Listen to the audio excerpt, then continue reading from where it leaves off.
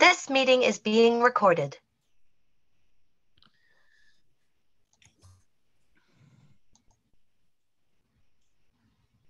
Okay, Krista, it looks as if everybody's in now, I think. Great. All right, welcome everybody. This is our second Faculty of Science Indigenous uh, Science Speaker Series. Um, so welcome. And um, my name is Brian Mark. I'm the Dean of Science here uh, at the University of Manitoba. And before we begin today's lecture, I'd like to acknowledge that the University of Manitoba campuses are located on the original lands of the Anishinaabe, Cree, Oji-Cree, Dakota, and Dene people, and on the homeland of the Métis Nation. We respect the treaties that were made on these territories, and we acknowledge the harms and mistakes of the past. And we dedicate ourselves to move forward in partnership with Indigenous communities in a spirit of reconciliation and collaboration.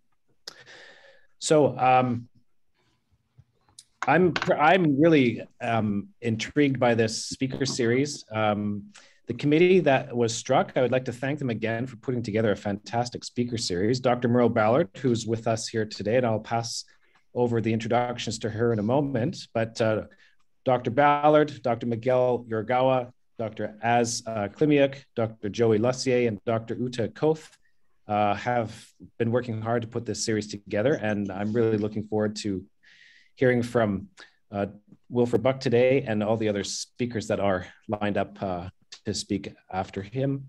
And uh, at this point, I'll pass it over to Myrle, who will introduce today's speaker. Myrle is uh, an assistant professor and an Indigenous scholar in, the, in our Department of Chemistry at the University of Manitoba.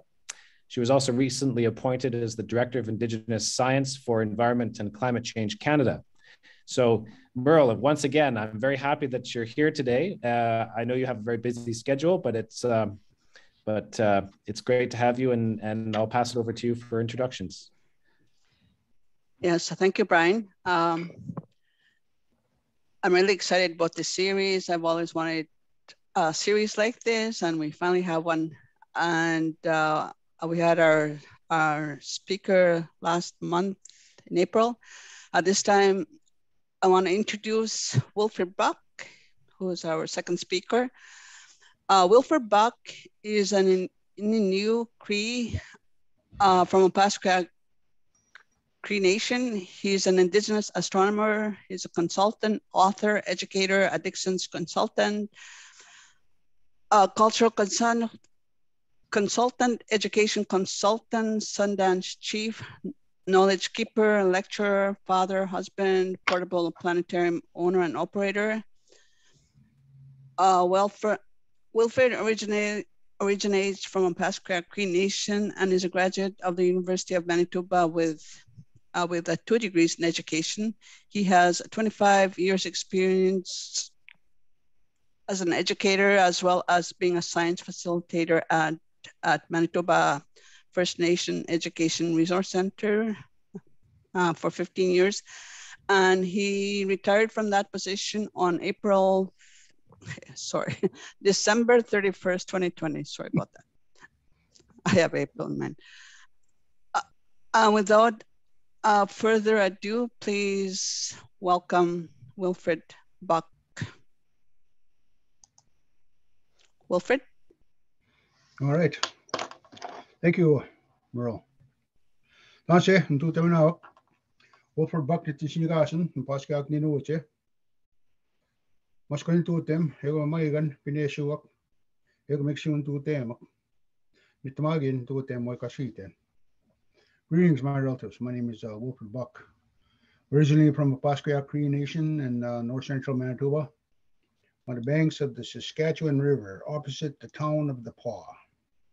coming to you today from Winnipeg, Manitoba.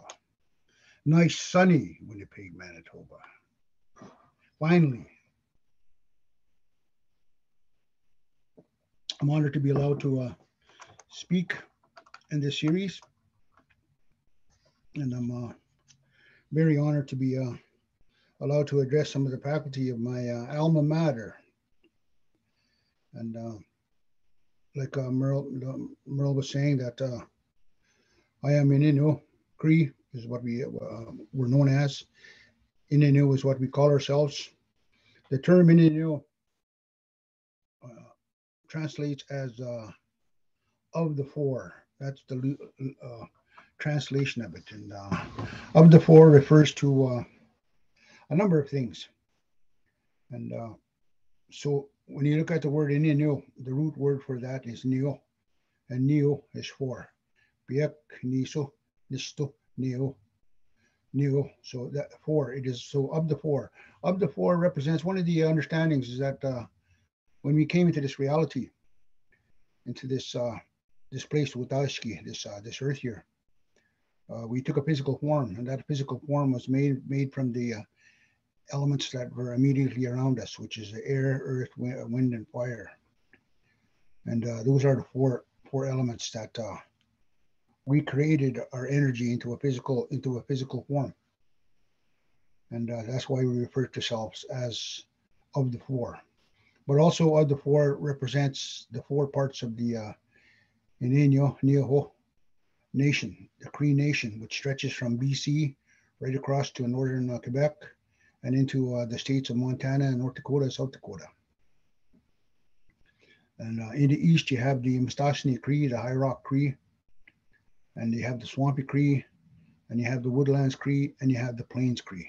And again, those are of the four. So today I, have uh, been asked to uh, speak a little bit about, uh,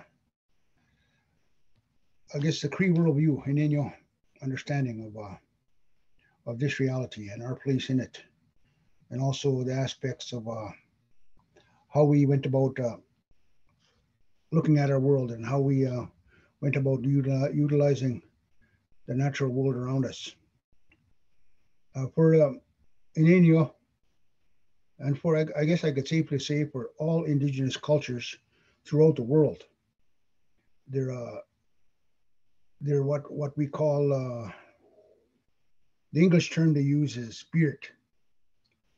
And uh, I have a hard time using that word spirit because spirit connotes uh, things right away. You say spirit, and right away people start thinking about ghosts and they start thinking about spiritualism and spiritualists. And, and uh, when my people talk about spirit, there, there's words that that are used like achak, achak.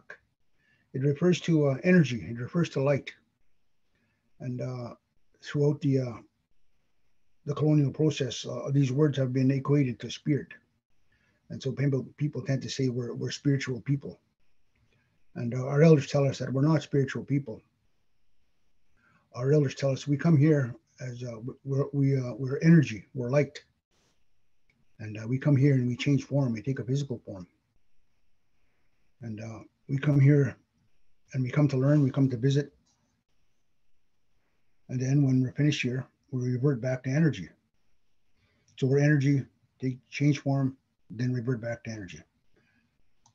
And uh, one of my astrophysicist friends say, uh, told when I was asking about when she asked about that, and I told her some of the basic concepts. She said, uh, "What you're referring to there is particle theory." And I said, "Yeah, that's what we're referring to because that's what we believe. We're energy, and we take form, take, take a physical form, and then we revert back to energy." There's no such for prior to coming to the Europeans. For us, there was no such thing as heaven or hell or uh, the limit, limiting factors of uh, limiting our God to be a old man sitting up in the sky. We had no concept of Kitsumanto, our creator, and we, we, we couldn't dare to say that uh, his his reach only stretched on Earth, this little part of, of our reality. And so, so we believe that's why we, we believe in energy, because energy is everywhere. We, we, we know that energy is everywhere and wh- whenever we do anything it's based on on that that concept energy. And uh, people like to equate that to spirit. And uh, th- that's that's where I I, uh, I, I feel very uncomfortable when people relate in that concept. Because uh, they they as soon as they relate in that concept they start thinking about uh, connecting it to other uh, other systems of belief. Like I was uh, speaking with a, uh, an educator last uh, last week. I was up in Churchill, and they were asking me what uh, what Indigenous people believe prior to coming to Europeans, So I talked about energy. I talked about uh, spirit, as a spirit in, in, relation to to energy and light, and that we uh, we we we're here. We visit here, and then when we uh, we're finished visiting here, we leave and revert back to energy. And right away, you brought up the concept about reincarnation, and uh, I had to say, uh, I'm sorry that uh, isn't isn't what meant by by spirit. We, we don't uh, retain any memory of uh, what we did here when we were here because we're energy. We don't have a little uh, memory stick and we can reboot ourselves all the time. It's, it's not like that. We just continue our journey somewhere else because um, in our reality, space, uh, this place here, Wataski, this Earth is only one little cosmic uh, microcosm of the vast, the vastness of, of reality and uh, we don't limit ourselves to just staying staying at this one place, this little place here, because uh, Creator didn't want it. We're told that Creator made energy, and energy is everywhere. So therefore, we can go everywhere. And so, uh, for Indigenous peoples, when we talk about spirit, we talk about Achakak, we talk about Mantuak, we talk about Waganak, we talk about Ntutemak. There's multiple multiple uh, understandings about uh, this uh, concept of spirit. And it all boils down to energy at all time. There's a, a, a word that one of my uh, mentors told me in relation to the sky and in relation to those stars in the sky, which they say uh, where we come from. We come from up there. And there's a word in Cree that uh, it, it, the, the word is uh, Kishikuokak. Kishikuokak when you uh, it, it, refers to beings of light, beings beings of energy specifically. Their uh, the root word for kishigukak is kishigao. Kishigao. When you say uh, dansi kishigao, that, that means that energy, that light that's up in the sky in the daytime. Kishigao, it means the, the light of day, the energy of day. So kishigukak again refers to that light, that energy. Kishigukak is the being of light, being of energy. And uh, so my people had a had a specific term when when, when they were talking about that, and they uh, were told prior to the coming of the Europeans, the belief systems that uh, that people had were uh, of a holistic nature. And uh, being of a holistic nature, nothing was uh, compartmentalized. Nothing nothing was uh, you couldn't be an expert at, at, at at one little specific thing because uh, you had to take in the world around you. As uh, beings of energy living in, in, in a reality, every atom um, that, that, uh, that you possess and every atom around you is in relation to something that, that came from up there. The sci- scientists say that uh, uh, uh, a supernova, we, we are the products of supernova all the dust, all the elements are, are, are of, of, a supernova, and that's that's that's that's that's what comprises who we are. And in that same same understanding, that's what my people believe, is that we are a product of everything around us, and we can't be. Uh, there's there's a term that uh, when I was going to university, and uh, there's a term that uh, that was used that I, I always wondered about. You say we're uh, they're doing an experiment, and they say we're passive observers, and uh, I tell my elders about this and they, they chuckle. They said, How can they be pass- passive observers? Just by being there, they're influencing something. They're part of this reality. They can't magically disconnect themselves from this reality because they're there. And just simply by being there and watching and looking, they're, they're, they're interacting, they're, they're being a part of. So they, they'd wondered about that. And to me that makes uh, that makes a lot of sense. Yeah. We interact with our reality. I mean we can't be uh, separate from it.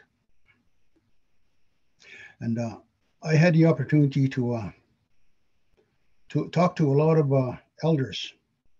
And i had the opportunity to talk to a lot of astrophysicists and scientists. And i had a lot of opportunity to fast. And a lot of opportunity to dream and vision quest. And I had a lot of opportunity to travel. And I was, as I was doing these things, one of the elders pointed out to me that uh, what you're doing there is uh, you're doing uh, what what you call in educational circles methodologies. You're you're, do, you're practicing your people's methodologies. This is how your people come to knowledge. Your people come to knowledge. Our people come to knowledge by fasting, by dreaming, by traveling, by sharing with people, by talking with people, by singing, by by interacting with the world around you, by sitting out in nature, and and uh, the, the the most specific understanding that connects everything all together is spirit, is energy, is light, and is dreams. These are, are the main uh, main ones for for uh, the methodologies of uh, of the indigenous peoples throughout the world. And uh, this is this is what differs from the methodologies of uh, of Western science. Of course, we have things, of course, like uh, observation. Observation is very important, and experimentation, and uh, and inquiry, and uh, theorizing, and uh, those types of things. But but but what what differs greatly, of course, is the idea of uh, dreams have, having a part to play in this process. And uh, one of the elders told me that uh, they said, "Puamiak," those dreams are very important. Dreams are what make our reality. They tell they told us. They said, you think about it. Dreams. Everybody in the world dreams. Doesn't matter if you don't remember what your dreams are. You dream. Once your body is at rest, your mind starts to dream. And uh, they, they, say that uh, everything, if you look in the world around you, everything that you're surrounding you right now, at one point was a dream. And then somebody had an idea. So dreams are the birthplace of ideas. Dreams are the birthplace of questions. Dreams are the birthplace of understandings. Dreams are the birthplace of knowledge. Dreams are the birthplace of uh, guidance, of healing. So dreams are all these things. And uh, so the reality we're surrounded, we immerse ourselves in, was was that was a dream, was an idea at some point. And, and until somebody moved forward with that idea and, and made it a reality. And so dreams play a very important part in in uh, in, in the Cree understanding of, of the world around them. And for myself, I uh, I, I uh, use dreams quite a bit to help me understand. And uh, because dreams, the uh, the driving factor behind dreams is is of course the, the human mind, the human brain, and uh, that human brain is uh, is totally fascinating. Mama Scots, we say it's wonder it's wondrous, and that it is the the, uh, the, the only thing I can equate it with now is a supercomputer. This is way beyond a super. Our brain is way beyond a supercomputer. Our brain goes 24 seven and it makes little uh, intricate connections that we can never even think of in our subconscious. Uh, some people call it the subconscious. They make connections. It makes connections all the time, and these connections form ideas. And it connects. It's totally connected to everything around us, and it's always formulating things. And uh, come to a understanding that uh, dreams they they give us ideas when we're when we're puzzled about something and you ponder it and you ponder it and you ponder it. And then uh, sometime maybe in the middle of the night, you, you, you wake up and you say, oh, that's what that is. Or, oh, that's what that was. And uh, our elders even go so far, they say that dreams give us glimpses of infinite possibilities. When we sleep, we dream. And when we dream, we're always dreaming about something. Our, our, our, our mind is just constantly working and it's giving flashes about the information th- that it read from whatever we saw that day, but also the experiences that happened to us. And, and, and they formulate these things and they give us flashes of possibilities that could happen. And so we're always getting infinite possibilities of what can happen. And then sometimes in our waking lives, we're sitting there thinking and saying, hey, this happened before. Or hey, this is done, we've done this before. The, uh, of course, the uh, French call it déjà vu. But uh, our, our elders say that that happens because you dreamt about it. You that possibility was shown you, and through through a certain uh, chain of events happened to make that possibility a reality. And so again, I was explaining this to a astrophysicist friend of mine about some of the understandings about dreams, and uh, what they told me was, well, what from what I understand is what they're seem to be talking about there is uh, quantum theory. And uh, the idea of uh, the infinite possibilities that that can happen if certain events fall in a certain way or, or if you observe or don't observe certain things. And i thought that was pretty cool. So our elders con- contemplated these things. But but the important factor there is that in our reality in our holistic understanding of our reality. Everything is encompassed in these concepts. When you talk about dreams and uh, we're connected to the sky we're told in our dreams. In in uh, cree understanding if we look up in the sky there's a certain place up in the sky called Bagwangizik, the hole in the sky. And uh, astronomers and uh, call that the pleiades the seven sisters so my people call that Bhagwan Gizik, the hole in the sky and this group of stars is uh, really important throughout the world. I've had opportunity to uh, talk with indigenous people throughout the world, in the northern hemisphere and the southern hemisphere, and uh, they always point out that group of stars as a very, very important place to their people. And so for my people, we call that Bhagwan Gizik, the hole in the sky. And they're saying that's uh, that's where we originate from. And uh, in, in regard to uh, in regard to that, when they're talking about hole in the sky, they're referring to, referring to a spatial anomaly. They're referring to a wormhole. They're referring to a portal into another reality. And they say that's why our dreams, when we sleep, our our our, uh, our energy connects to that hole in the sky, and we're bombarded with possibilities because we're getting glimpses of other realities. I saying, holy smokes. Uh, I was talking about uh, now, now, now I, want, I want to go see a Doctor Strange in multiple multiple universes. But yeah, that's what that's what they were talking about. A spatial uh, anomaly, a wormhole, or connect to other realities because uh, our people understand that there's other realities out there. Because uh, they say it's crazy, it's nonsense to limit our reality to only what we see and only what we can think about. Because they say Kitsamanto, our creator, is uh, is infinite. Kitsamanto, our creator, had a thought. So when Kitsamanto our creator had a thought, he thought about us and we came into being. We came into being as energy, as light.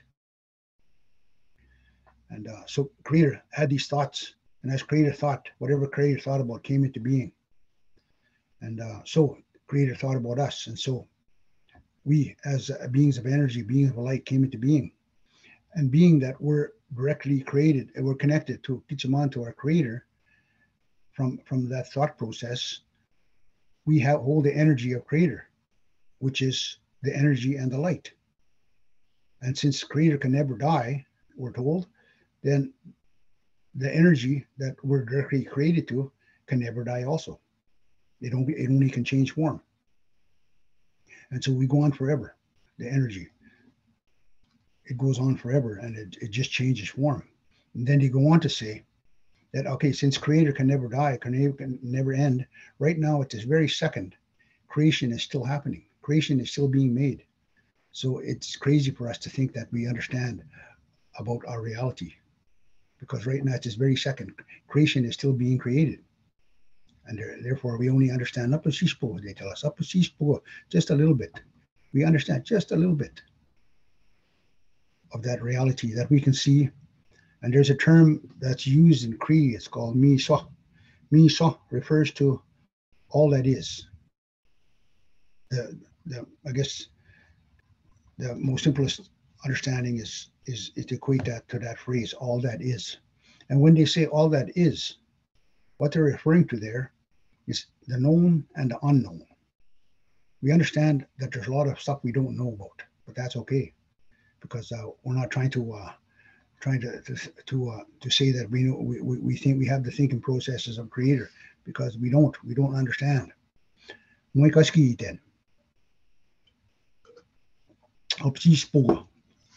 We don't understand just very little, but we're okay with that. And uh, because we we know that uh, our energy continues on, and at some point we'll know a little more as we go along.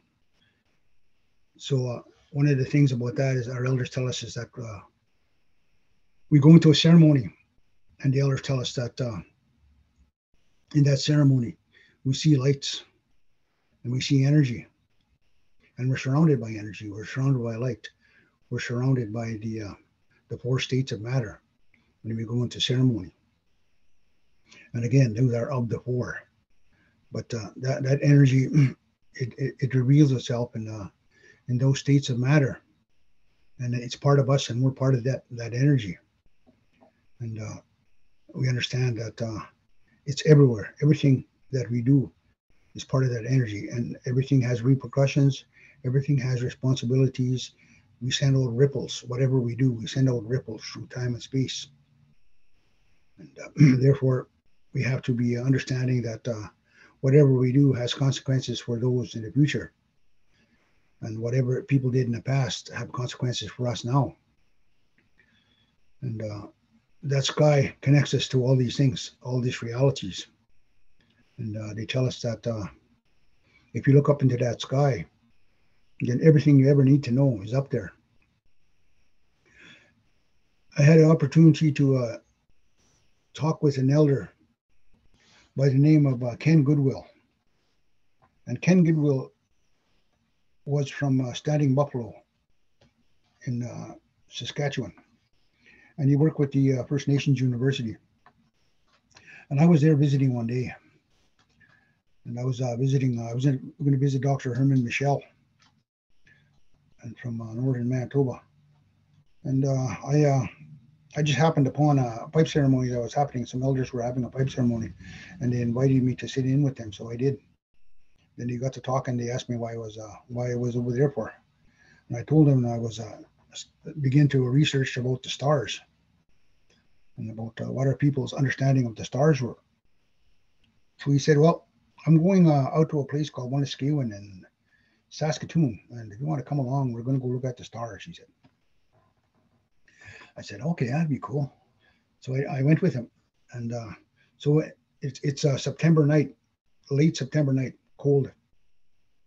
And we're standing outside in the northern plains outside the city of Saskatoon at a place called Wanuskewin, looking at the sky. And he, he told me, he said, every star you can see with the naked eye out here in this sky, are people had a constellation. There was a name specific stars had names and they were connected to ceremony. Constellations had names, had songs, had teachings, and they were connected to ceremony. So every single star in that sky we understood about.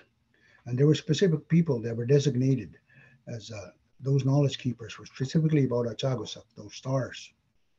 And they dedicated their lives to understanding that star, that sky world and its relation and its instructions to us and through the uh, historical trauma that happened to our people, we lost 85% of that knowledge base. And so uh, now we're just now looking up at that sky and starting to reclaim those constellations. And he said, What you're doing, then you got to keep doing it because the students have to know about this, these stars. These stars tell us tell them about their history. These stars tell them about who they are. These stars tell them about their connection to reality. These stars tell them about their understandings and depth of knowledge of their people. And they're not getting that in, in, in the education system. So what you're doing is good. And if you're gonna if you're gonna do it, and uh, you're meant to do it, then things will happen and uh, it, will unfold in front of you. And this wasn't the first time that uh, one of the elders told me that. When I first began this journey about looking at the stars, way back, and I think it was uh, 2007, 2006, 2007 is when I started researching the sky, the Cree sky. One of the elders told me that, yeah, what you're doing is uh, is good, and he told me all this stuff, and he said, uh, you know, don't worry about it. He said, because if you were meant to do these things, then people will be put in your place, events will be put in your place, uh, and uh, things will be put in your place, and, and it will, they will unfold in front of you. And if you're meant to do this, then it'll be given to you. Basically, all you have to do is go out and look for it. And uh, so that's what happened. And uh, so with these elders telling me that. And uh, yeah, th- th- that's that's the case. I started with uh, one constellation, the Big Dipper, a group of stars in the Big Dipper, and uh, similar to Ursa Major, is uh, the ones one uh, one uh, Atimuinak. Atimuinak is what we call the uh, a narrative. Again, there's another term in English, stories. I don't like to use the term stories. Again, stories bring their own connotations with them. And uh, so at Timuinak, these uh, tellings, I, I, I had one when I started this journey. And uh, this this uh, telling I had came from uh, from uh, Kinosao-Sipi. Kinosao-Sipi is uh, Fish Fish River, but uh, Fish River on the maps in uh, northern Manitoba is known as Norway House on the northern tip of uh, Lake Winnipeg. And there was an elder by the name of Murdo Scribe who uh, talked about uh, Atsak, Atsagas, and uh, Ochik the fisher, and how the fisher was in the sky, and uh, that fisher was uh, part of that fisher was the Big Dipper. So that's the only story I ever heard about from a, a Cree perspective, any perspective other than Roman Greek, because going to going to school, uh, of course, that's all I heard about was Roman Greek. And uh, I, I, came to the assumption that I guess nobody else knew anything about the sky other than Romans and Greeks, that's all we ever hear about. And uh, so when I when I heard this story, I was really intrigued. And uh, so when when I started doing the research, I had one story, but things started falling into place. happened across a portable inflatable planetarium at a a, uh, a science uh, teacher science convention in uh, in uh, Austin, Texas. They were having a teacher science convention, and they were displaying these portable planetariums. And I said, "Hey, this is what I need. I, I need this. I can go to the schools and I can show the kids this. And you know, in, in the middle in the middle of uh, in, in May and middle of June, don't have to wait till the winter time when it's nice and dark out and they can go outside. And so we, we purchased it and I started uh, taking this around with my one little story. And pretty soon I had two little stories and then three little stories and four little stories. And as I went around, I, I, I mean, I started gathering more stories. People started giving me all kinds of stories. So that, that was that was quite a while back, back in 2000, 2006, 2007 when we started. So now up to this point, I'm at probably about 36, 37 constellations that we've relocated and reconnected with. And this is just specifically the Cree stars. This is not the uh, Ojibwe stars. This is not the, the Lakota stars, Dakota stars. This is not the Blackfoot stars. They have their own star systems and their own understandings, and they they too are, are delving into those understandings and reconnecting to that sky. And what they're finding is a depth of knowledge, a depth of understanding, an intellectual capacity that every culture on the face of the earth has. And uh, again, and we're reinforced in, in that research by uh, our elders telling us, yes, this is what the kids need. The, the, students need to know this. They know they need to know that there's a depth of understanding. There's a, a capacity for intellectual thought in the processes of their people, and they're not just uh, simplistic, super superstitious uh, beliefs. They're they're uh, they're compatible. Some of those concepts are compatible with any scientific theory that's being put forward right now. And then I started running to astrophysicists and astronauts and sharing with them and traveling. And that's another part of our uh, our uh, methodology is that travel and that sharing. One of the uh, when I told one of the elders that uh, I was I was uh, trying to go about uh, putting together steps and how we come to knowledge, and the very first thing they told me was you got to include travel in there. You have to include travel because our people traveled all the time. And when you travel, you expose your mind, you expose your body, you expose your whole your whole being into someplace new. And when you're sitting talking with somebody totally new, especially from a, a different nation, then again you're opening your mind to uh, possibilities. You're making connections with what you've thought already, prior knowledge, and, and everything's connecting. So traveling is very important, especially as a, a, youth, young people. They should travel all the time. They said. And I thought this made so much sense because, yeah, as uh, just uh, going through university and uh, listening to some of my prospective professors and uh, some people that uh, that idolize, like uh, Neil Tyson DeGrasse, and uh, he's traveling all the time and he's talking with people who are like-minded in him, and he's coming up with some awesome ideas. So that that that just says, yeah, travel is is awesome. And uh, if you travel, you meet people with like minds, and you come, you make connections, and you come up with fantastic ideas. I got a funny story for you. I was uh, I was at a I was at a uh, staff meeting. We were having a staff meeting in Brokenhead, First Nation, in uh, one of the meeting rooms, uh, conference rooms. So we're sitting there one June day, about five years ago, having a conversation, and uh, my phone my phone rings. So I answered the phone. I said, "Hello, this is Wilfred Buck," and he said, "Hello, yeah, yeah. Uh, uh, could I? Do you have a minute? I, I need to speak with you." I said, "Okay, uh, I'm, in a meeting right now, but uh, yeah, okay." So I walked off to the side, and they said, "Yes, this is the assistant of uh, Neil Tyson DeGrasse, and uh, we need to speak with you." And I said, "Shut up!" And I hung up. and then, anyways, I thought somebody was pulling my leg, so I went back, and again, my phone rings again, and again, it's it's it's that same lady. So I, I took the time and I, I talked to her, and uh, she invited me to. Uh, they, wanted me to go present at the Hayden Planetarium at that point, which I thought was pretty awesome. Yeah, so uh, so travel is very is very important. Uh, according to that's another one, another central methodology of our people, traveling, and uh, the, the the art of uh, the the whole aspect of creativity, the whole creative process, singing, dancing, painting, coloring, drawing, all those things, sports, all those things again are are part of, of, of that methodology, and we have to include that. And our whole being and when we take in the world around us, everything that we do, everything that we think, everything that we uh, we smell, we touch, we feel, that has to be part of our methodological process. And uh, when we, we start doing these things, then we uh, we we start we our energy attracts like like minds, and these these like minds make connections, and and brand new amazing things are are, are formed. And our elders told us that this is part of, and ceremony again is another one that's very important in, in, in the process.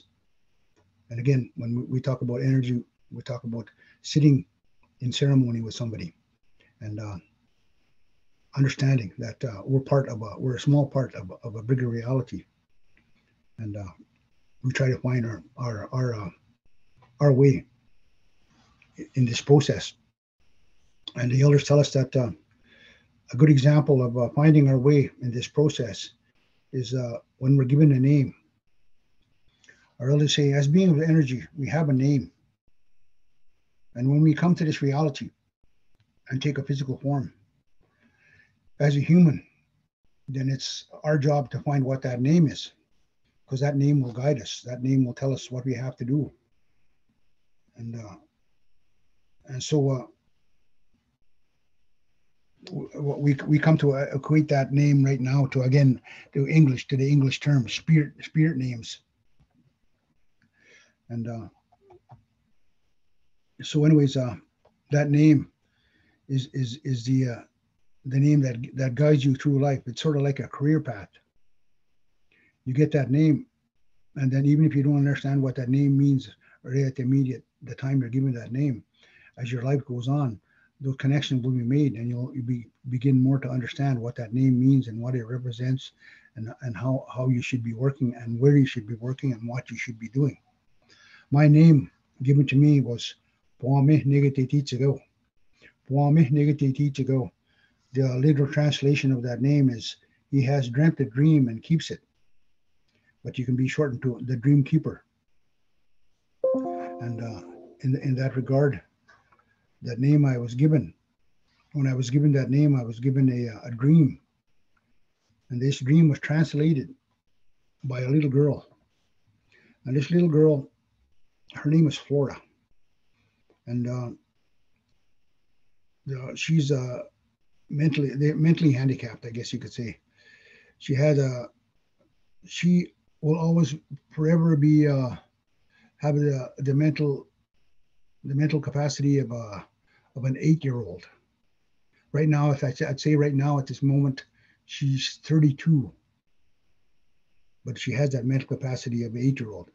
And uh, when, when she when she was born, the doctors told her mother not to and father that uh, she shouldn't. Uh, they should should let her let her pass on because uh, she'd be a vegetable all her life and uh, she, would be handicapped all her life. And they said it, it wouldn't be a it wouldn't be good for her or for the parents to uh, to go through that. But the parents said, no, we're not gonna we're not gonna believe you.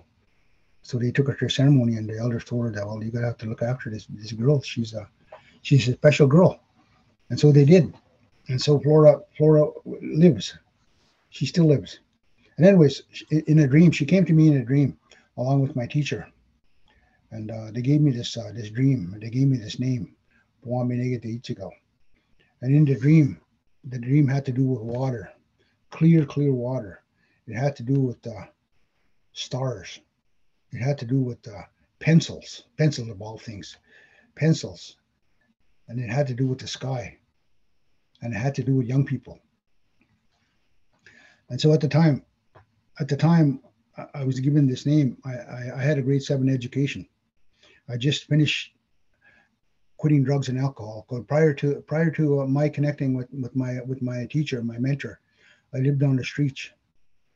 I ran away from home when I was 12. I was a uh, a product of the child welfare system and the Children Aid Society, and I was adopted out when I was uh, six years old. So at 12, I uh, got tired of where I was staying and I ran away, and I lived on the streets. I lived on the streets from I was about 12 till I was about 25, I'd say. I lived on the streets and all the street, all the skid rows in uh, Western Canada, in Vancouver, in Edmonton, in Calgary, in Regina, Saskatoon, Winnipeg, Thunder Bay, all these places. I was intimate with these skid rows. I was into crime. I was into drugs. I was into alcohol. I was into violence, and I was into everything. And I did anything and everything to to survive. And it wasn't until uh, I heard a call when I was in Edmonton one time. The elders sent out a message to all the youth all over Canada. They said, if you want to learn about your culture, if you want to learn about your history, if you want to learn about your language, if you want to learn about your heritage, if you want to learn about your ceremony, come to this place and we'll teach you. And so I ended up at that place and they started teaching me. And I left those streets. I left the alcohol. I left the drugs. And I had a grade seven education. And so one of the things I did to fill the void that alcohol and drugs and crime and all the other stuff once those were removed, I had this big, huge void in my life, and so I I, uh, I went to uh, went to school, and I obtained uh, two degrees from the University of Manitoba after completing my upgrading, and uh, from there, I uh, I became a teacher, an educator. I taught for 25 years in ed- various education systems in Winnipeg, all over Manitoba, and other reserves. And one thing about, uh, being an educator in Winnipeg is uh, being uh, who I am as an Aboriginal person, whatever school, I, every school I went to, I was the instant uh, expert on anything Indigenous, even though I didn't know nothing about Indigenous myself. I was uh, I was the instant expert just because uh, the color of my skin. And so I, I decided, well, if I'm going to be an expert, I better find out about something. And so I started going to, I passed tobacco and I asked uh, one of the knowledge keepers to teach me about the ceremony, to teach me about the sacred pipe, to teach me about the songs, to teach me about all these things. And that's what happened. That's what I did. And that's how I uh, I left that, uh, that that dark world behind me and uh, entered a new uh, new phase in my life. And uh,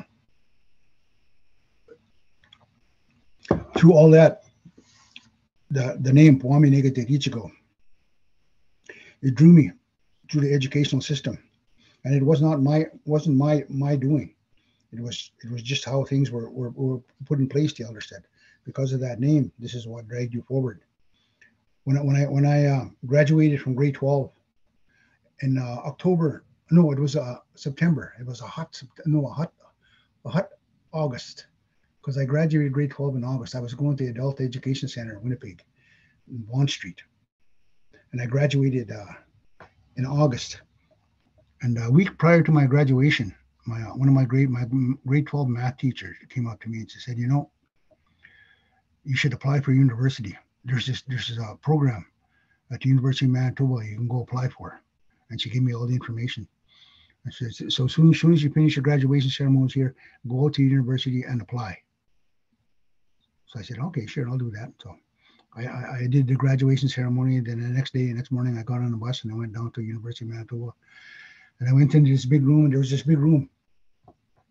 And in this big room, there's about 60, 70 people in this room.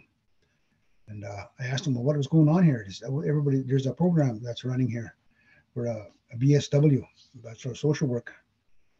And that's what I wanted to be. I wanted to be a social worker to go help my people. And uh, so uh, I said, I looked around and I said, holy smokes, how many positions are open? And they said, uh, 16. I said, holy smokes. So I walked out of that room and I said, forget about it. So much for that idea, I said. And so I'm walking down the road, walking down the hallway, and I came, I passed this other room, and in this other room, there's about 10 people in it. And I looked around, I said, what's going on here? And so this is a educate. This is a, a, a, program for education. You can get your B.Ed here. Said, well, how many positions are open? They said 16. I said, okay, well, this is where I'll apply. and that's how I became a teacher. And that's how I got my B.Ed. But in, in all that, that that dream, that name, Puamine Tegichigo, because the elder said that name is the name that'll carry you through life, and that name had to do with education. That name had to do with stars. That name had to do with youth. And after all that, after all that process, yeah, that's what I ended up doing. All these things that they, they told me I would do.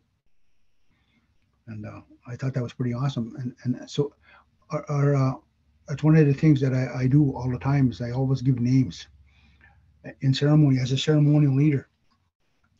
People come to me, all kinds of people, especially young ones, and they ask for names. And I, I, I ask the grandmothers and grandfathers the, the energies in the uh, in the sweat lodge, Matutsan, about who, who these people are, what who these spirits are, and they show me their names.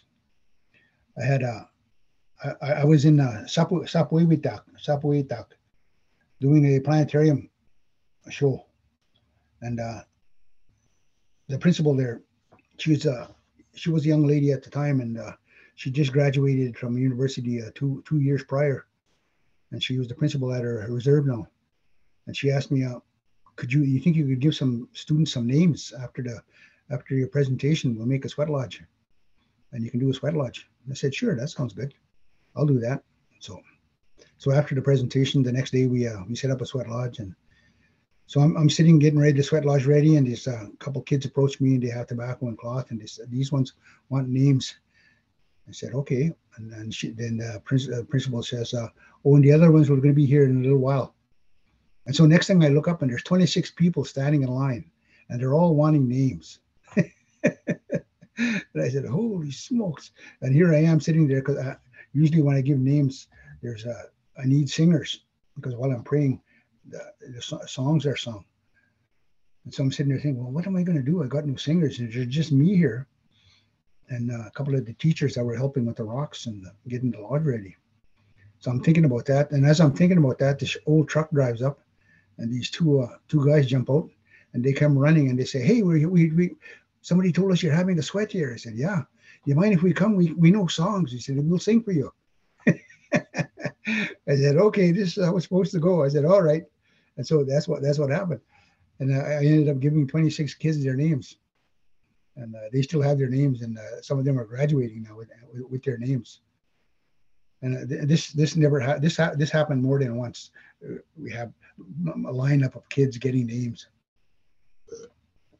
So yeah, these names identify who we are. They guide us in what we the work that we have to do in our lives they're sort of like our uh, our, our career paths, our, our, chosen career fields. And all this is part of the uh, methodological process of our people, and it includes everything. It's, it's not just uh, today, today or uh, at this part. I'm a, I'm a ceremonial person.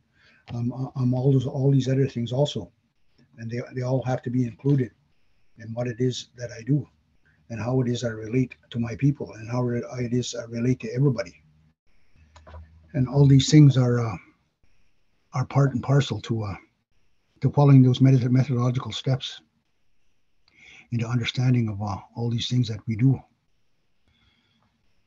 So I uh,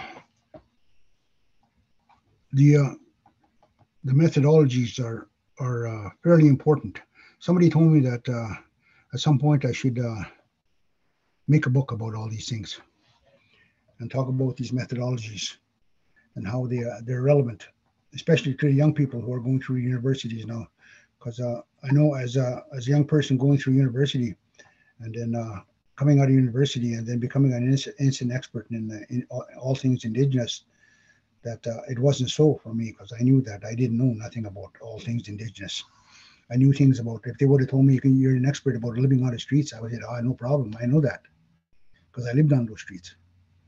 But even living on those streets gave me an in with a lot of the young people, a lot of the students, because uh, uh, I, I, knew a lot of where a lot of them were coming from, because I was there. I lived I lived that process, lived that crime, lived that jail, did the time, and uh, so the, all these all these processes are part and parcel to who we are as a person. These young these young people that are coming out of universities that uh, haven't uh, been exposed to their culture. The uh, a lot of them go to university to get reintroduced to their culture, which I found pretty pretty odd. I was at a place called uh, Saskatoon, at a place called uh, Joe uh, High School, Joe Memorial School, and uh, it's run by the Catholic uh, School Board in Saskatoon. And uh, Duquette, by the way, was uh, one of the elders that, that uh, sent out the message to us young people that if you wanted to learn to uh, about our culture, our history, and all that stuff, to uh, to come to this place. Joe Duquette was one of those people that one of the elders that called us, and one of the people I listened to, and I respect very much. And he's from Mistawasis, Saskatchewan. And anyways, there's a school named after him in Saskatoon, and I was at that school one day uh, doing a presentation with the planetarium and as uh, we were sitting there, one of the elders came up to me and he said, he said, look at all these kids here. And it's a high school. So I was looking at all these grade 9, 10s, 11s, 12s.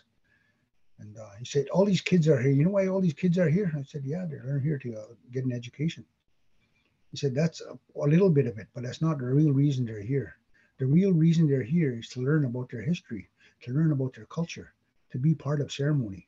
That's why they're here, because they can't get this on the reserve, they said it's it's ironic that they have to leave the reserves and come to the city and to a Catholic school to get their their culture. I said, yeah, it is ironic, but but that's what's happening, and, and that's what's happening with the university system now. A lot of those you, a lot of those young people that are leaving their reserves, coming to universities, they they they get a, a taste of their culture in, into these schools, into these uh, institutions, and it's very important that uh, the taste that they get is is has a depth to it and has has the intellectual capacity, and it connects to a lot of the concepts that are are presented in these systems. It's very important that they know that, and then they leave they leave that place knowing a bit more about their history, and about their culture, and about their depth of knowledge, and about their intellectual capacity from from a from an indigenous perspective, not only from a Western perspective. So those are some of the things I'd like to share with you. I, I can see the time is uh, about an hour already. So uh, if there are any questions, I guess I could turn it over to Myrle and.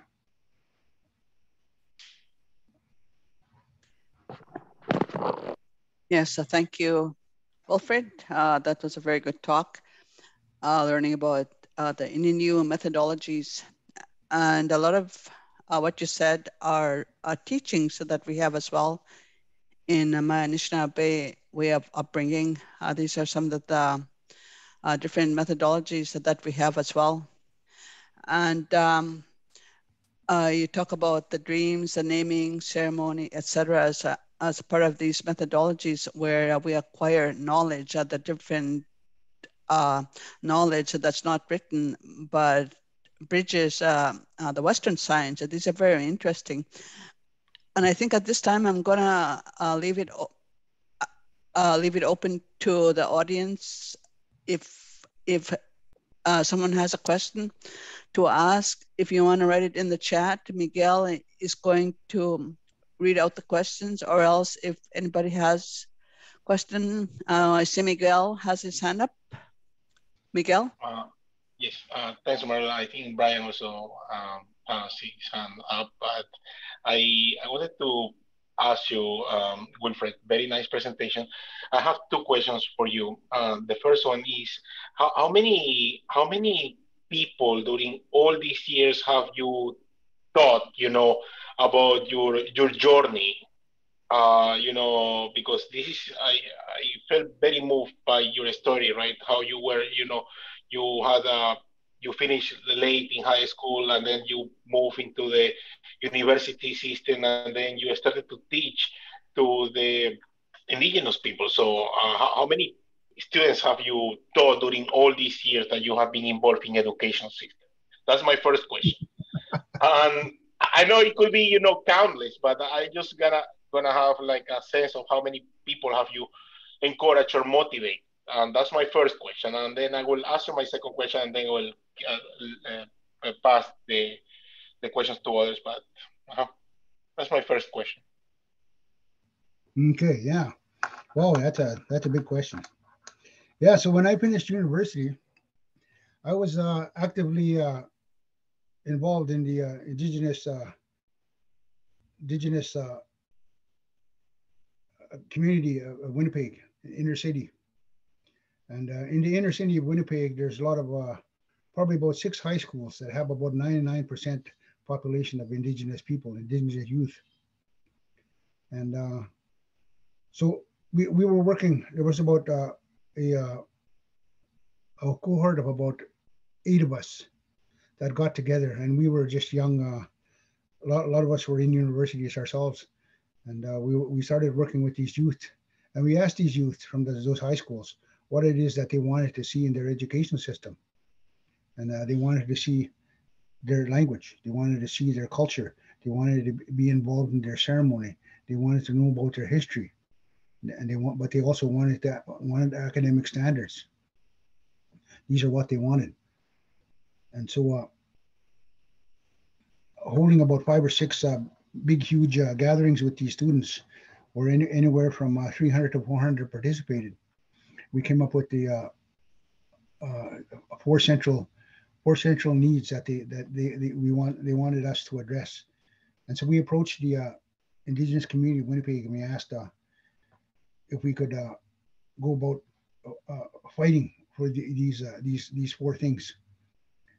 And uh, so they elected a uh, a body called the Thunderbird uh, Society, and uh, our, our goal was to was to establish the indigenous based high school within this this Winnipeg School Division One, and then in the central central area of Winnipeg. And so that's what we did. That's what we uh, we we went went for and that's how Children of the Earth High School was uh, was established back in 1991.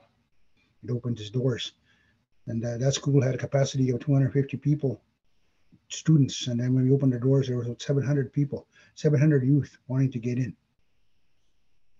And uh, so I taught there.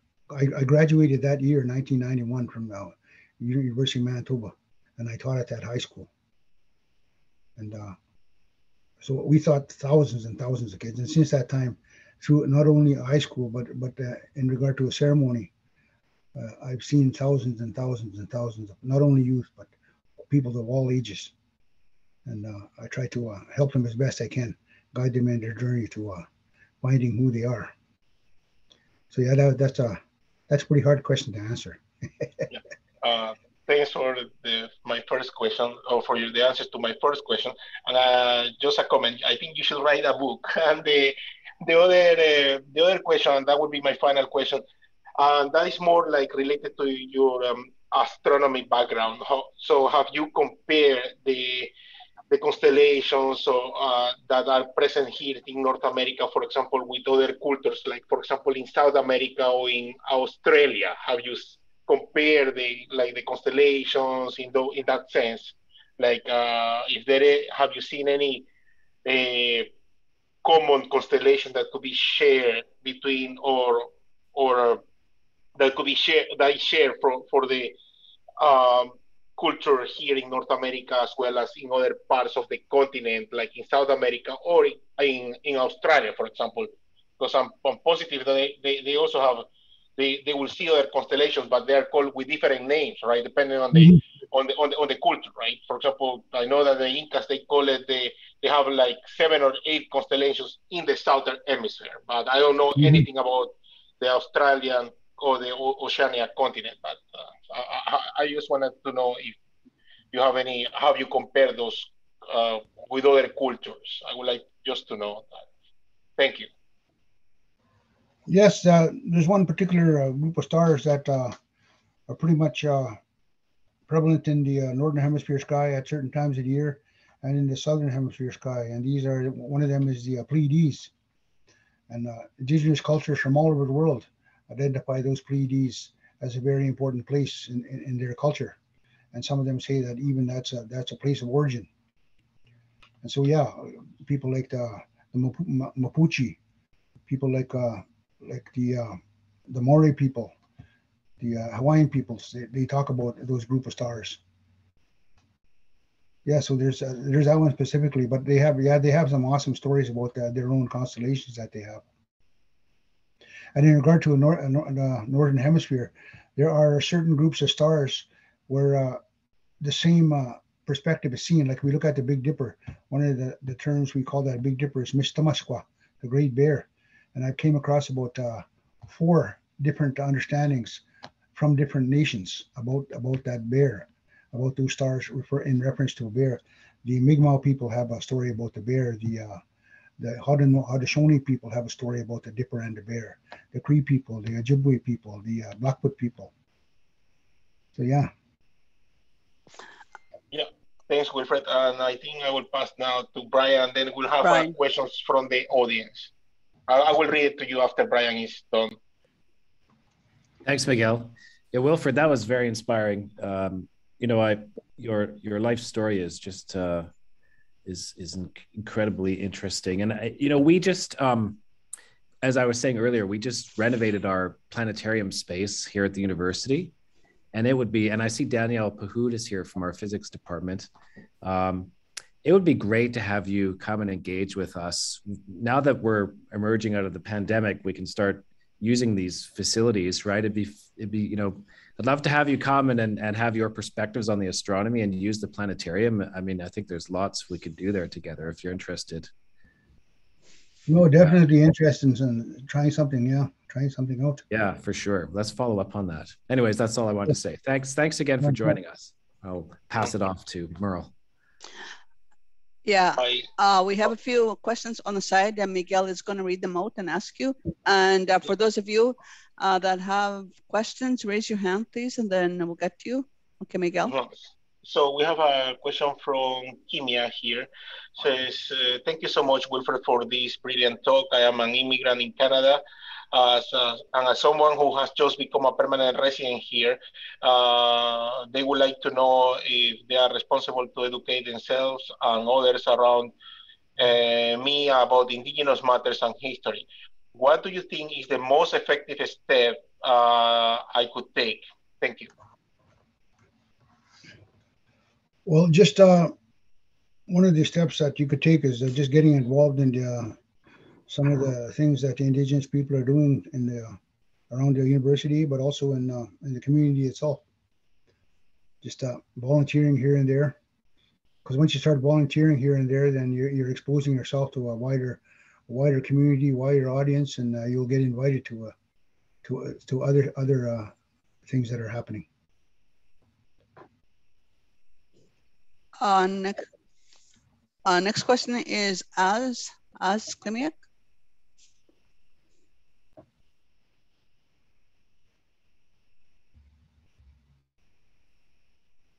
Thank you so much, Wilfred, for this wonderful talk. It was wonderful to to receive these teachings from you. I wonder if you could explain a little bit. This is something that I'm confused on in my learning. Um, how do how do Achakos stars relate to kinship? When we think about our, our constellations of kinship, that's the connection I'm missing right now. Is that something you could help with? Uh, yeah, well, uh, Yeah, that's a that's a really really big question. But uh, in regard to uh, kinships, there's one specific uh, constellation up in the sky. It's called Nameo. Nameo is a sturgeon, and Nameo swims in the Milky Way. The stars of Auriga, the stars of Perseus, and the stars of Andromeda. There's uh, seven main stars in those three constellations, which, which uh, constitute the uh, constellation Nameo, Nameo the sturgeon. And the stars of Auriga touch one side of the Milky Way, and the stars of Andromeda touch the other side of the Milky Way. And the stars of Perseus swim right inside the Milky Way. And so those seven stars touch either side of the Milky Way, and the main body of those stars swim inside the Milky Way. And we're told that's a time continuum. We're told it represents generations, it represents ancestors, it represents kinships. Those uh, seven main stars are the seven generations. And we're told that the stars of Auriga, where the nose of uh, Nameo the sturgeon is, that's the future. And the stars of Andromeda, where the tail of uh, Nameo is, that's the past. And the body of uh, Nameo the sturgeon swimming in the Milky Way and the stars of Perseus are the are present. So in front of us, we have the, the, the future. Behind us, we have the past. So there, we're told that there's three generations in front of us and three generations behind us. And we are the, we are the, the, the center.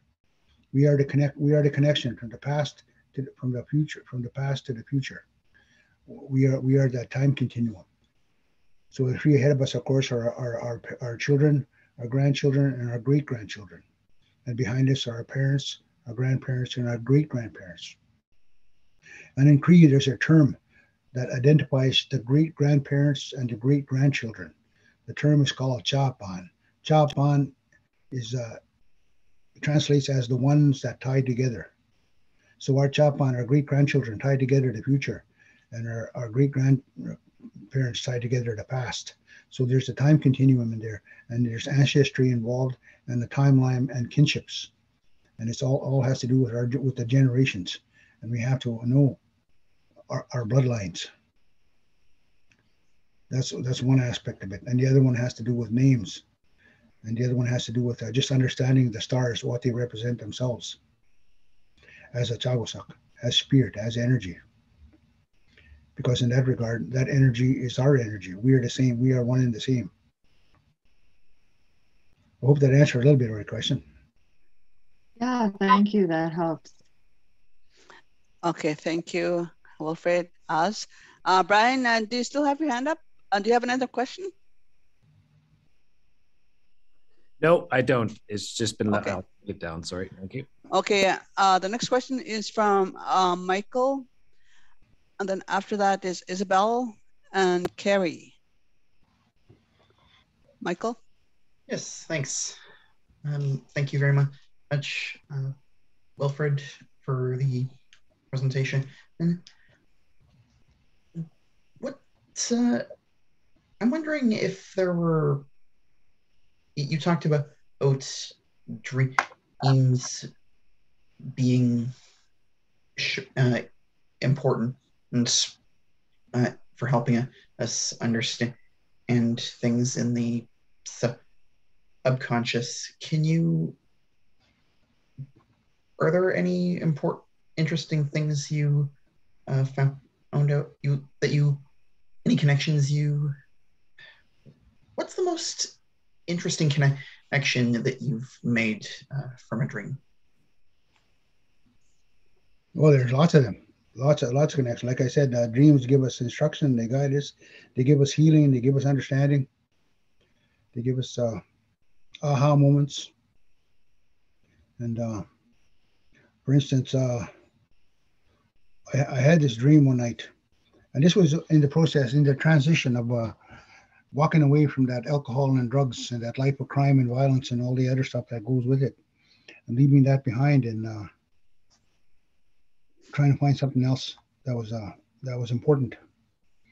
And uh, during that time, it was a very lonely time because I had to uh, disconnect myself from that that world, and I had no other world to connect to because uh, that's the only world I knew. And so I was uh, pretty much floating in the dark. And I had a dream one night, and in that dream, my parent, my grandparents come and got me, my grandparents come and got me. and They took me on a journey. They flew me back to uh, back to uh, OCN, Opaskwayak, and into the log house, log cabin my uh, my grandfather built for my grandmother and all the grandchildren.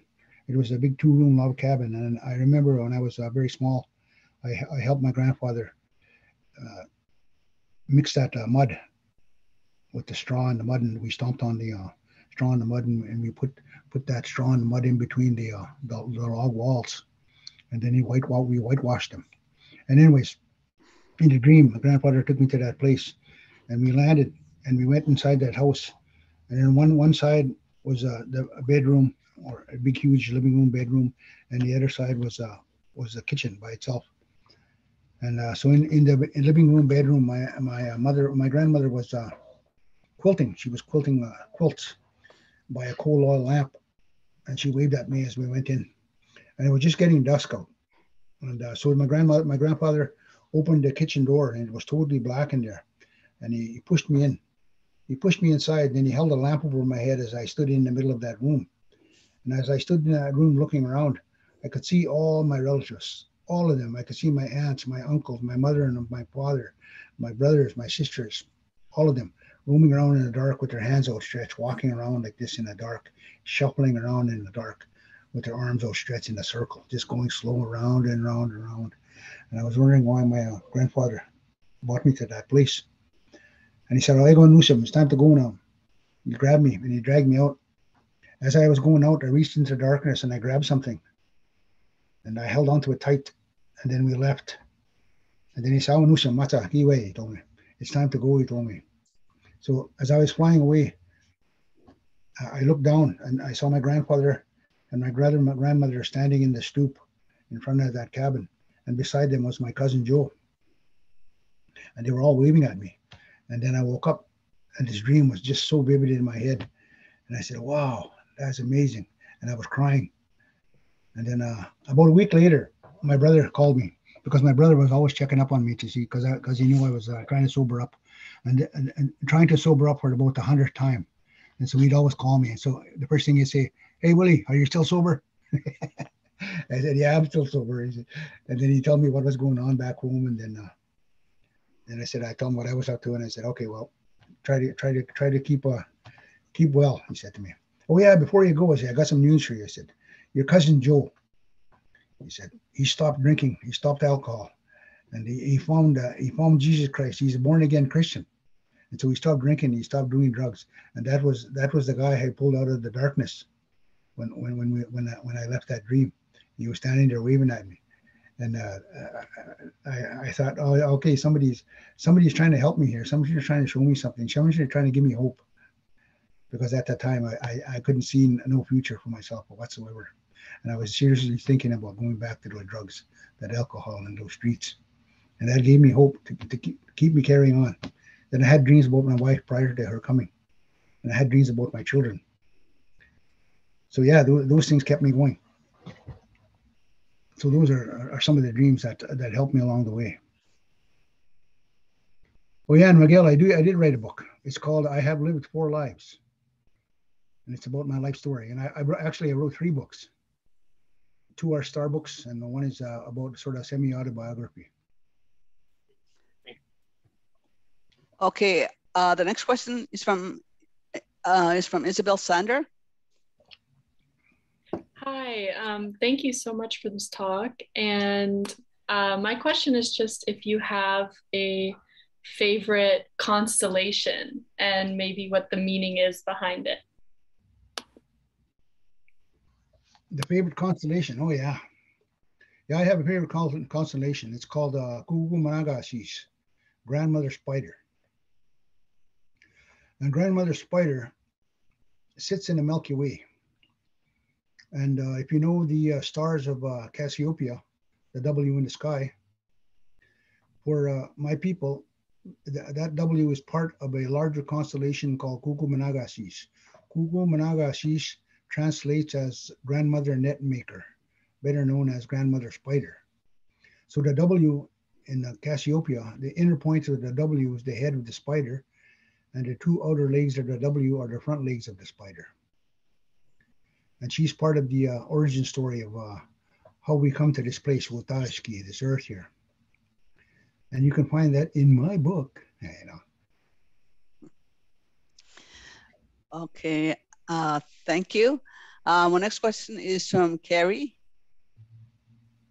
Hi, uh, thank you very much for sharing your knowledge with us. I'm a grade six um, teacher in Edmonton, and part of our curriculum is um, the night sky for science. And so, what I was wondering is do you still do, or would you still do your traveling planetarium? Um, or a Zoom meeting uh, or anything like that to share your knowledge with um, students? Is that something that you do or no? Yes, uh, always do that. We're uh, in, during this last couple years pandemic. I've been doing nothing but zooming, and in the last couple months since it started opening up, yeah, we've been taking the planetarium around. I mentioned that we were up in uh, northern uh, Alberta, and uh, I have some inquiries from the Edmonton area of uh, various uh, teachers that are talking specifically about bringing the planetarium. The thing about the planetarium is that uh, it's it's not cheap, and it would be it would be uh, advisable to get maybe two or three schools together to share okay. costs, and I could spend maybe a week up there, going from school to school, because uh, when I take the planetarium out, it it, it weighs uh, 91 kilograms, and uh, I have to hire uh, two escapees, two helpers, to, for the driving and for the for the setup and the takedown itself. Okay. Is there, um, what would be the best way to sort of arrange either a Zoom meeting or the planetarium? Uh, get a hold of me. Uh, in your, is there a place in the chat here I can uh, type? Oh yeah, right here. Here, here I'll type in my uh, my email.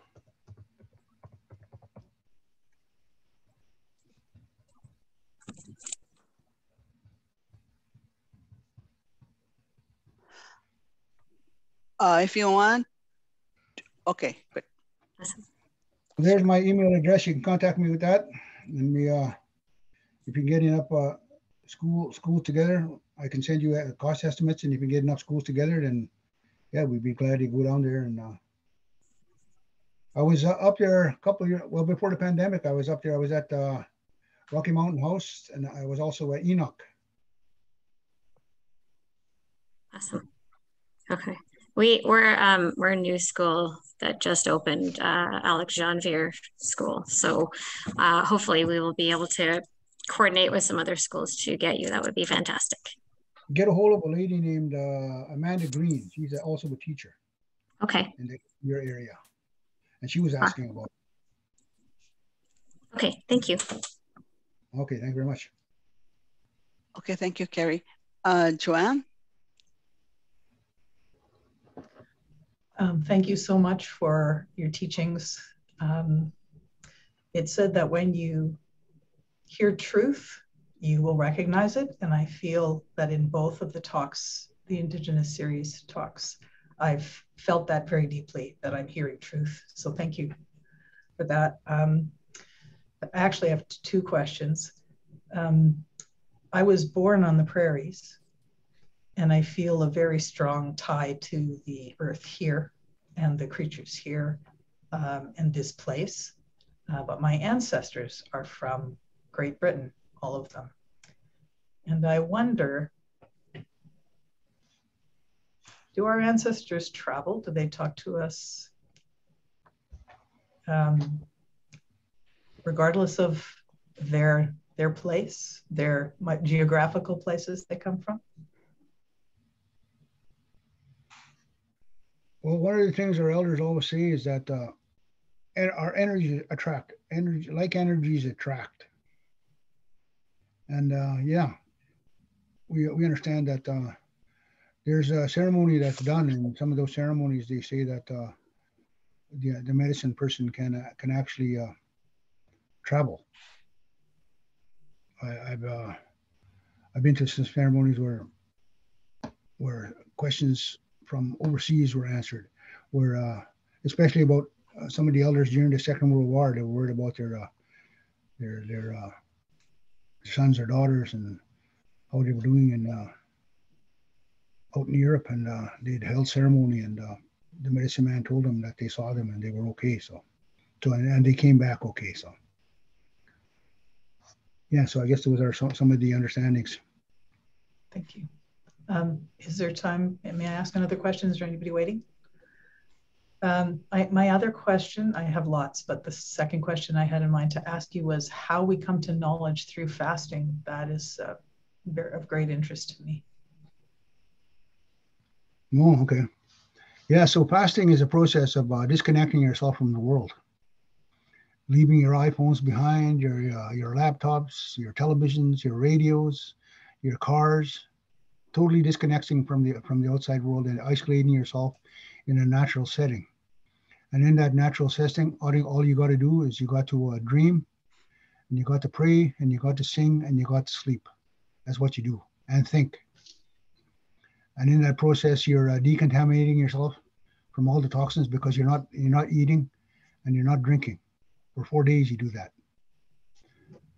And uh, so you, you disconnect, and then you reconnect to the, the spiritual the energy of the natural world. And in those connections dreams are made and through all that process all the experience that you had up to that point there's connections made in in, in your dreams. As to what some of those things mean.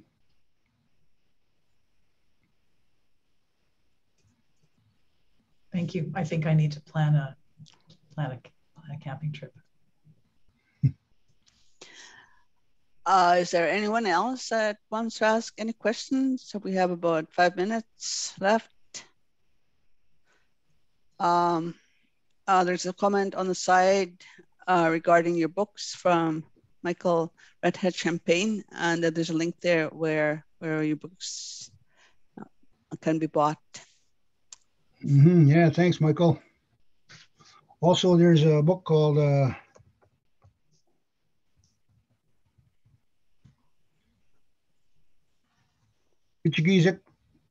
and it's a Great Sky. I have uh, a copy here.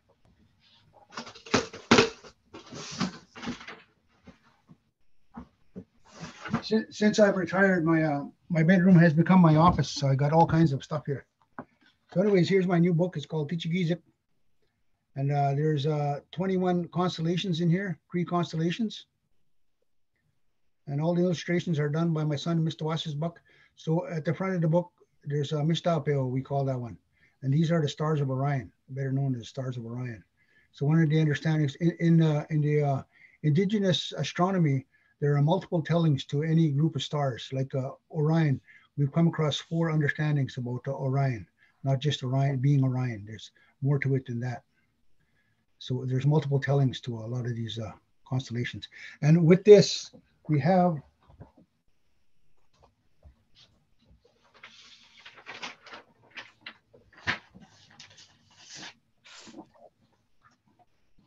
These here are uh, poster sets. And these poster sets are based on the images of the book of Kichkizik. So this is the uh, Winter Thunderbird. And these are the stars of Draco and the stars of our Ursa Minor. And this is one of our main constellations in the sky.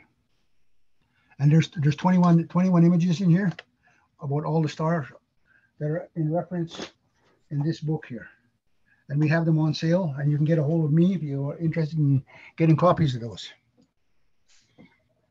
Okay, thank you, uh, Wilfred. And uh, the email for Wilfred is up there, uh, wilfred.buck at outlook.com if you want a copy of his books and his poster. I think we've come to the end of your talk. It has been very inspirational. I really enjoyed it. And, um, and on behalf of the Faculty of Science, the University of Manitoba, I want to say thank you. And uh, thank you, Dean Mark, for the opening comments. And uh, uh, we're going to have our next uh, series again starting in in uh, September because we're going to take a break during the summer. A lot of uh, people go do their research. So, so that's it on behalf of the university again. Thank you, Wilfred. Ikchimigwech, ginanakomen, ikigobamin mino. Thank you.